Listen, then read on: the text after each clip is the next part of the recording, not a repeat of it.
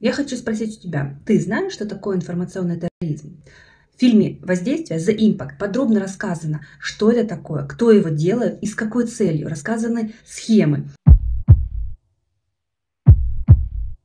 И вот э, если очень просто, то информационный терроризм – это воздействие на психику человека, чтобы сформировать у него определенное мнение. Это такие, как инфотеракты. И они гораздо страшнее обычных терактов, потому что они длительны во времени. Инфотеракты э, совершаются именно в наше время, потому что сейчас доступ к интернету э, практически у всех, доступ к огромному количеству информации. Но что очень уже важно, что в одной из европейских стран уже ведутся расследования против журналистов, пособников вот этих антикультистов, а, пособников РАЦИРС, а, которые проводили инфотерапию.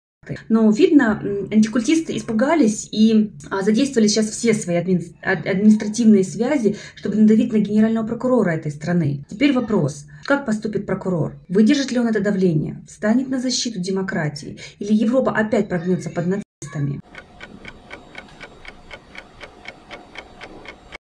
Как ты считаешь? Пиши свое мнение в комментариях.